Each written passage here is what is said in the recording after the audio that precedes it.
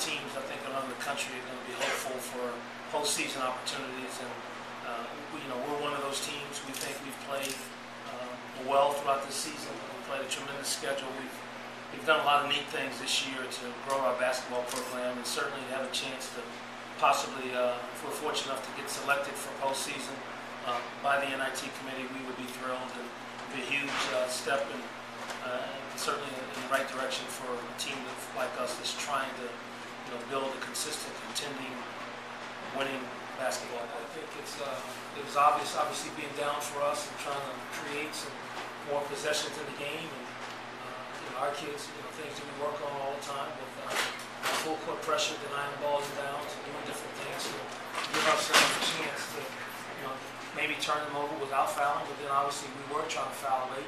We had some fouls to give, um, and we were fortunate. I mean, they made some, some errors, you know, in the backcourt and different things, but we were fortunate that, uh, you know, we were able to get the ball, and then we made some plays on the offensive end after we were able to get some turnovers. Uh, I just thought were incredible passes and extra passes and showing a great deal of poise by such a young team. Brandon did one, Kyle Casey making two free throws uh, to give us that, you know, final margin, and then at the end, guarding, you know, Rosen again at the end. Kyle Casey got switched on, and then Jeremy Lin tipped the ball out after that first miss. Just showing a lot of poise by our kids and making winning plays. Just to get a stop, Coach was called X defense, and we're switching all screens. So um, they ran they ran a pick and roll with him. Kyle switched on him, and uh, Kyle's a great defender, very versatile player. So uh, uh, he can guard any position.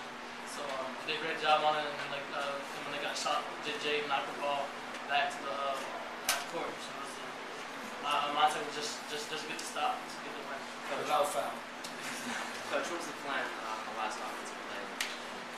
Obviously, it worked out. Yeah, no, we inbound the basketball, we wanted to get in, we had opportunities, we didn't want to call a timeout, they were out of timeouts, and we wanted to make sure that we, things that we worked on and showing the poise, and I thought our kids were tremendous with making the extra pass and not panicking. Uh, Christian had it, gave it to Jeremy in the corner, Jeremy drove it, gave it to Kyle, Kyle was driving it in there to try to kick it to Brandon, we were trying to find that open shot, the extra pass to lead to that, that open shot, and they were on their way, we were on our way to get it, but we were fortunate we got fouled, and then we get to the foul line. But I think the poise by our kids right there just shows